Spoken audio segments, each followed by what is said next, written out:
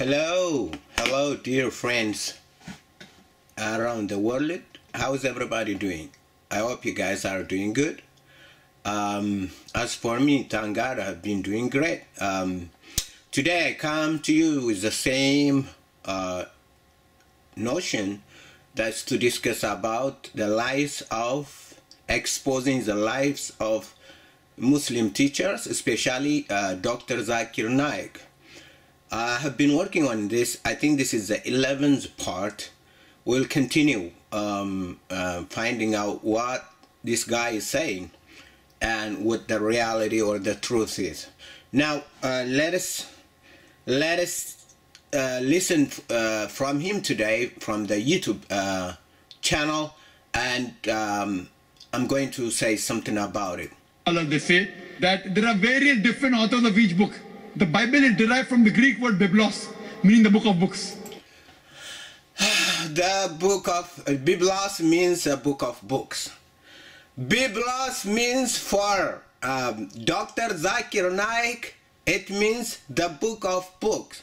But let us see what Biblos means. Let us see what Biblos means. Now let me take you to the book of Genesis chapter 5. Chapter 5 verse 1. This is the book of the generation of Adam.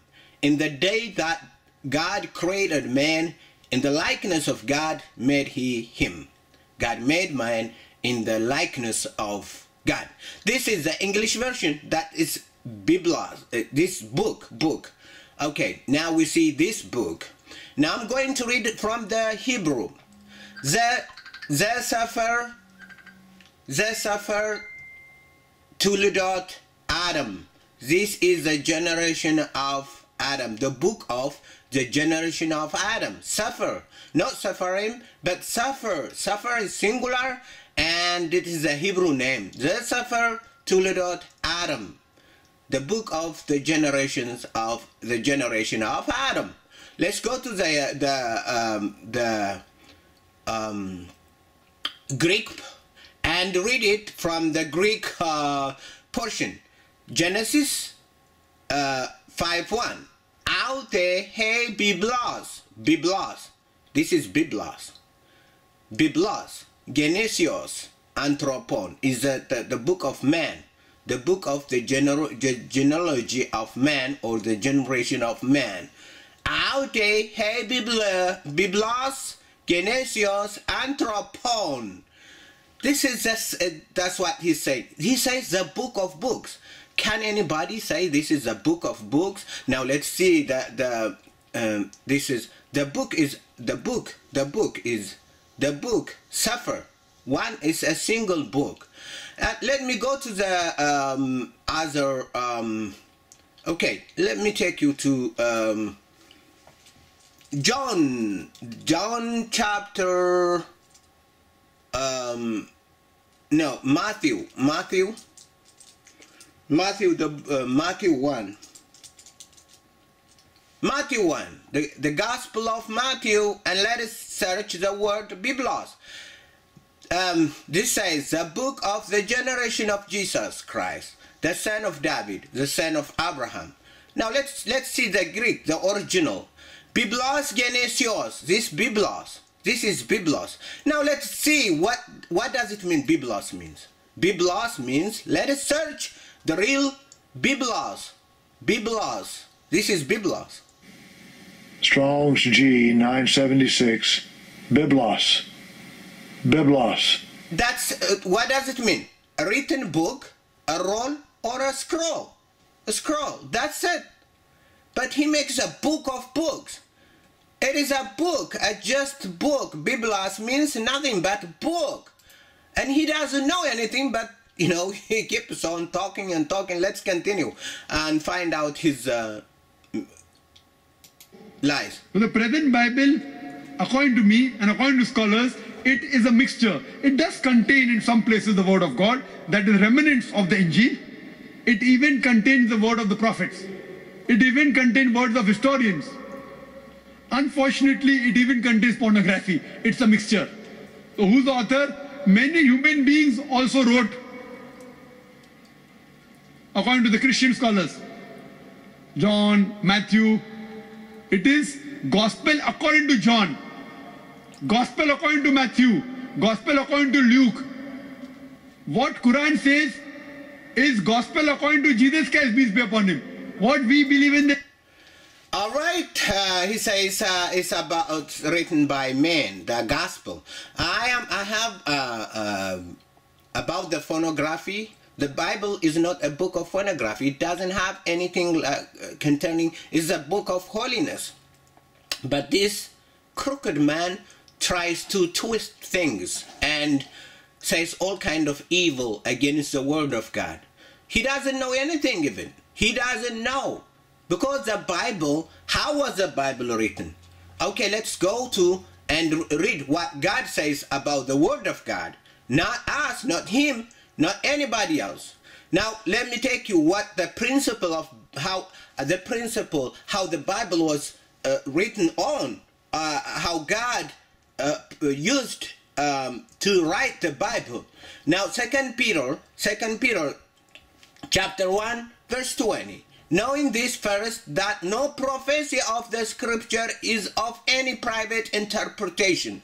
He says you cannot use, you cannot abuse the Bible as uh, you know the religious people abused it like the catholics the orthodox and others they abuse the word of god and these muslims the fanatic muslims they are abusing the gospel of jesus christ. But what it is what does it say? Knowing this first that no prophecy of the scripture is of any private interpretation. For the prophecy came not in all the time by the will of man. It is not from man, it is not by the will of Paul, by the will of Peter, by the will of John, by the will of Luke, by the will of Mark, by, by, by the will of Isaiah, but by God. But holy men. Yes, men of God, holy men. Not uh, man who married six year old when he was 50 something who uh, took his, his son's wife for himself, for a wife, snatch uh, the, his wife's son that like the Prophet Muhammad? No, it's not. But by holy men, these men of God were holy and they are they are the people of God chosen and made holy. But holy men of God spoke as they were moved by the Holy Spirit. Holy men, remember, holy men moved by Holy Spirit. Holy men driven by the Holy Spirit. Holy men inspired by the Holy Spirit. Holy men unctioned by the Holy Spirit wrote the Bible. The prophecy of the Word of God, the whole Bible is a prophecy. So man, it is given from God. God led them by the Holy Spirit. It is not the work of man in every part of the Bible, in every, either in the, in, in, in the Torah or uh, you know, the five book of Moses or the Tanakh, the whole Bible of the Old Testament or the New Testament or the whole Bible, it is by the power of God and the Holy Spirit caused it to be written. It, we call it the Word of God. We don't say the Word of Matthew. But to dif differentiate, to differentiate one book from another, to refer, to get reference, we use we use our fathers used like according to Matthew, according according to Matthew, it doesn't mean he, he got it, but he he, he is not he, he's not the author of the Bible. He was given. He was given to write instruction by the Holy Spirit. Matthew was given, Luke was given, Mark was given, uh, Paul was given. They were given by the Holy Spirit, the Spirit which worked in them, in them, in them. Now the, the, the thing is, look, now this is a this is the Quran. This is the Quran, Al-Fatah, the opening. Uh, Al-Baqarah, the cow, the family of Imran, uh, Al-Imran, An-Nisa, the woman, the food, the cattle. This is a what? The food, the cattle? What does it mean? This is their Quran. Even he doesn't pay attention to his his um, his his book, the elevated places, the spoiled offer, the repentance, Jonah. That what does it mean? Jonah. This is it. Jonah. Hood. Joseph. Because it say according to Joseph or according to Matthew or according to anything. But this is a, this, but he doesn't pay attention. The thunder, Abraham, the rock, the bee, the night journey, the cave, Mary, uh, that's Sur- Surah Al-Maryam. Mary, Taha, the prophet, the pilgrimage, the believers, the light, the creation, the pot, the ant. Come on, even ant. The ant. What is what? The spider. oh, come on. This is your book. It's a j- jerk. J- a bunch of things, you know, coming together. The devil, uh, the moon, and all this. Oh, according to Matthew, according to he. Okay, let's continue. Okay, well, this is uh, we don't have to continue. I have um, uh, prepared, and I'm going to uh, attach it. That is, you know, how the the book of the Quran. The Quran is a book of phonography, How the Hadith is totally explicitly phonographic in nature. The whole thing, all the whole actions of Muhammad, Muhammad is nothing but a phonographic activity. Having uh, sex with a small child, being 55, 56, and having sex with nine year old, isn't that isn't that even the dis- the description isn't the description for pornographic? You will find it out. Just listen. Thank you for listening and i hope you're gonna listen and uh, understand how despicable is the the the the, the, the the description of the, the, the sexual explicitness of the the book of the Quran and the, the Hadith and the Sunnah.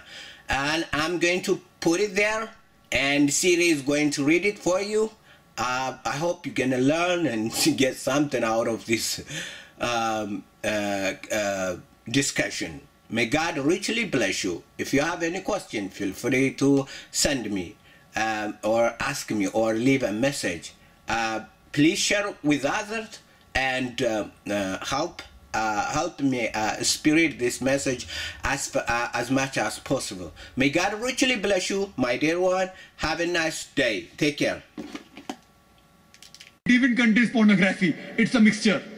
So who's the author? Many. hu- It even contains words of historians. Unfortunately, it even contains pornography. It's a mixture. So who's the It contains pornography. Okay, I'll see wh- which one contains pornography.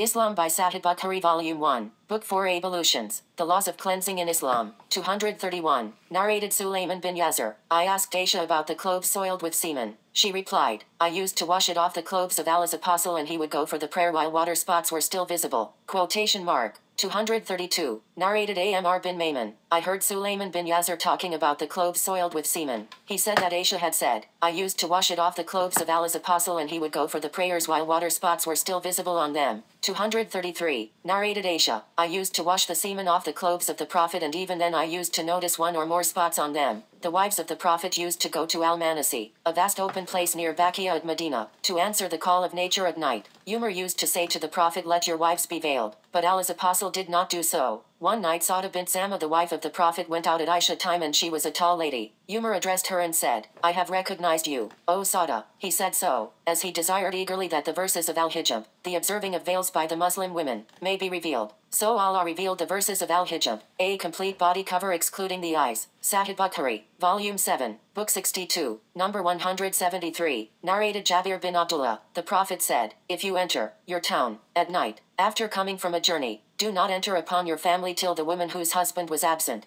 from the house shaves her pubic hair and the woman with unkempt hair combs her hair. Allah's apostle further said, O Jabir, seek to have offspring, seek to have offspring. Commentary of Imam al Nawawi on the hadith The saying of the Prophet, peace be upon him when he sits between her force parts, mostly its home animal, Shubiha al Arba, and has intercourse with her then fatigues her. In another narration, the word Ashubiha is used. The scholars have disagreed about the intended meaning of Shubha al Arba, the fours, for some said that it means the arms and the legs, while others have said that it refers to the legs and thighs, and others said it means the legs and the edge of the pubic area. Al Qadiyah chose the meaning of the four areas surrounding the vagina. The word, shab, means areas, its singular form being, shuba. As for those who say, ashbeha, that is the plural of the word, shab, the word ajhadaha, fatigued her, means to plow her, which was also stated by Al-Khattabi. Others have said it means to make her reach exhaustion as in the phrase she made him toil and labor till he was exhausted. Al-Qadi Iyad, may Allah rest his soul said primarily, the word, jahadaha, means that the man exerted his effort working in a woman, where the word, jud, means energy and refers to motion by describing the type of work. This is similar to his, the Prophet, saying he who plowed her meaning he who penetrated her by his motion. Otherwise, what other fatigue could a man experience because of her? And Allah knows best. The meaning of the hadith is that the necessity to wash is not limited to when semen is ejaculated. Rather it is when the penile head, hashfa, lit, the head of the male member, that is head of the penis, penetrates the vagina, then it is necessary for the man and the woman to wash. There is no disagreement on this today, even though there was disagreement on this by some of the early companions and others later. However, an agreement was later reached and this is what we have shown and presented previously. Our companions have said that if the penile head has penetrated a woman's anus, or a man's anus, or an animal's vagina or its anus then it is necessary to wash whether the one being penetrated is alive or dead, young or old. Whether it was done intentionally or absent-mindedly, whether it was done willfully or forcefully this also applies if the woman places the male member inside her while the man is asleep, whether the penis is erect or not, whether the penis is circumcised or uncircumcised. All these situations require that the person committing the act and the one the act is committed on must wash themselves, unless the person committing the act or the person the act is committed on is a young male or female. In that case it cannot be said that the person must wash, for they do not have the responsibility. Rather it is said that this person is in a state of impurity. If that person can discern the sexual act, then his guardian can command him to wash just as he commands him to perform the ablution washing for prayers. For if he prays without washing, his prayer has not been performed correctly. Likewise, if he doesn't wash after he reaches puberty, he must be forced to wash. If he washed as a youth and then reaches puberty, then he does not have to repeat the washing. Our companions have said that intercourse occurs when a healthy male's penile head completely penetrates an orifice, as has been unanimously agreed. Thus, when the penile head has completely disappeared inside the orifice, then all the regulations concerning washing apply. It is unanimously agreed that it is not necessary that the entire penile shaft penetrate to apply the regulations of washing. If part of the penile head penetrates, then the regulations of washing are not imposed as is agreed, except by an odd few of our companions who said that even in this case all the regulations of washing apply. However, this opinion is wrong, rejected and abandoned. If the male member was severed and what remained was less than the length of the penile head, then none of the washing regulations apply. If the part remaining was equal in length to the penile head length then that part must completely penetrate for the regulation of washing to apply. If the part remaining was greater in length to the penile head length then there are two famous opinions for our companions. The most correct is that if the portion that penetrates is equal to the length of the penile head, then the regulations for washing apply. The other opinion is that none of the regulations for washing apply until the entire remaining length of the penile shaft completely penetrates and Allah knows best. If a man wraps a sheath around his male member and then ejaculates inside a woman's vagina, then there are three opinions from our companions. The most famous is that the man must wash. The second is that he does not have to wash because he ejaculated inside the sheath. The third is that if the sheath is thick and prevents climax and wetness in the vagina, then washing is not necessary. Otherwise, it is necessary, and Allah knows best if a woman inserts in her vagina an animal's penis, she must wash. And if she inserts a detached penis, Thakaran Maktuan, lit, a severed male member, there are two opinions. The most correct is that she must wash. Sahih Muslim, Book of Menstruation, Hadith number 525. Commentary Men can enter if they give Muhammad what is between their legs. Edit. Muhammad ibn Abi Bakr, Umar ibn Ali narrated and told me Khalifa Umar ibn al Ali told us told us Abu Hazim from Sal bin Saud al Sadi. The Prophet peace be upon him said, Whoever entrusts to me what is between his legs and what is between his lips will be granted paradise. Sahih Bukhari 6309 Men are rewarded with undefiled virgins. Edit. For the companions of the right hand, we have created their companions of special creation, and made them virgin, pure, and undefiled. Quran 56 hours, and 35 minutes 36 men will have 72 virgins each. Edit. It was mentioned by Daraj ibn Abi Hadim, that Abu al-Haytham Adullah ibn Wahb narrated from Abu Sa'id al-Khudri, who heard the Prophet Muhammad PBUH saying, The smallest reward for the people of heaven is an abode where there are 80,000 servants and 72 huri, over which stands a dome decorated with pearls, aquamarine and ruby, as wide as the distance from Al Jabiya to Sana'a. 1. Al Tirmidhi, Volume 4, CH 21, number 2687. It was reported in the Hadith of Al Mikdam ibn Ma'dikarib that the Prophet, peace and blessings of Allah be upon him, said, The martyr, Shahid, has seven blessings from Allah. He is forgiven from the moment his blood is first shed. He will be shown his place in paradise. He will be spared the trial of the grave, and he will be secure on the day of the greatest terror, the day of judgment. There will be placed on his head a crown of dignity, one ruby of which is better than this world and all that is in it. He will be married to 72 of Al-Hur al-Iyn, and he will be permitted to intercede for 70 of his relatives. According to another report, the martyr has six blessings from Allah. According to other reports, the number is 6, or 9, or 10, narrated by Al-Tirmidhi, who said it is a Hasan hadith. Also narrated by Ibn Majah in Al Sunan, by Ahmad, by Abd al Razak in Al Musannaf, by Al Tabarani in Al Kabir, and by Sa'id Ibn Mansur in Al Sunan. The Six Blessings of the Martyr Sheikh Walid Al Firian, Islam Q&A. Fatwa number 8511 The mention of 70 or more horse for the Shahid is reported by several Sahaba, Radhi Allahu Anhum, of them are 1. Sayyiduna Miqdad ibn Ma'adikarid, Radhi Allahu Anhu, recorded by Imam Tirmidhi in his Sunan. Hadith 1663 Imam Tirmidhi has classified this hadith as Sahih, authentic too. Sayyiduna Ubad ibn Thabit, Radhi Allahu Anhu, recorded by Imam Ahmad in his Musnad. Hadith 17117, Imam Bazar in High Musnad and Imam Tabrani in his Al Majmu Al Kabir Majma as Sa'id Volume 5 pg. 293. Hafiz Mansiri, Ra, has classified the chain of narrators of Musnad Ahmad as has in bold text, sound, Al Targhib Volume 2 pg. 320, and Hafiz al Haythami, Ra, has mentioned that the narrators of Musnad Ahmad and Tabrani are all reliable and Allah Ta'ala knows best Maulana Muhammad ibn Maulana Harun Abbasamar Faculty of Specialty in Hadith checked and approved. Mufti Ibrahim Desai the number of whores, 70 or more, in Jannah for a Shahid or a Janathi is fixed by which hadith, and in which book men will be given the sexual strength of 100 persons. Edit. The Holy Prophet said, the believer will be given such and such strength in paradise for sexual intercourse. It was questioned, O Prophet of Allah can he do that? He said, he will be given the strength of 100 persons. Mishkat al-Masabih, Book 4, ch 42, number 24 A man's penis will remain ever erect. Edit Abu Umama narrated, the messenger of God said, everyone that God admits into paradise will be married to 72 wives. Two of them are Huris and 70 of his inheritance of the female dwellers of hell. All of them will have libidinous sex organs and he will have an ever erect penis.